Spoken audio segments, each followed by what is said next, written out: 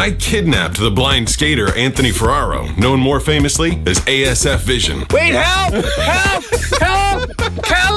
Kelly! More on that in a second, but you ever wonder what would happen if a blind surfer tried to teach a blind skater how to ride a giant surf skateboard that replicates the sensation of surfing? I'm blind. Let's ride this Hamboard. Well, since we're both blind, first I almost ran him into a car, and then I almost ran him into his wife and my fiance. You're insane. But eventually, my surf coach Josh showed up and got him cruising. Killing it. Now you're surfing. And after that is when I lured him inside, led him upstairs, and tried not to step on his service dog. What's on the floor? Is it, oh, it's a dog. A dog. and brought him into my recording studio where I told him he could scream as much as he wanted, but no one would hear him. Oh So this room that we're in has seven inch thick walls filled with max weight vinyl. And he checked out my recording rig. So Is far this behind the, the mic monitors. that you record stuff into? Yeah. Like your famous. Yeah, yeah, yeah. More of the adventure on his socials at ASF Vision.